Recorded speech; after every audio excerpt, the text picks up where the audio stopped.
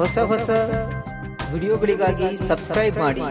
ಮತ್ತು bell button ಮೇಲೆ click ಮಾಡಿ